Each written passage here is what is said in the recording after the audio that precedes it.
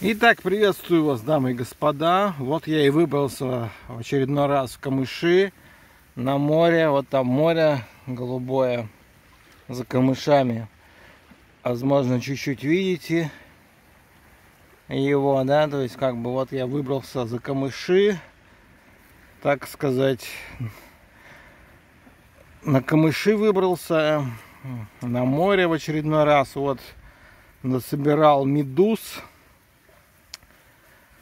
так сказать, они достаточно такие плотненькие, достаточно хорошие такие, то есть, видите, какая жирненькая, плотненькая, то есть, в мешок насобирал их, такие плотненькие, жирненькие, вот, сейчас буду, так сказать, опускаться, если вы понимаете, о чем я, а вот, достаточно неплохо выглядит, то есть, как бы, вот, медуза, как бы, не знаю, как вам показать.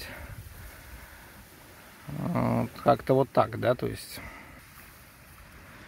Насобирал вот себе в пакет медуз. Они достаточно такие прикольные на ощупь. Плотненькие такие достаточно. Вот, как бы. Поэтому чаще бывайте, так сказать, на море.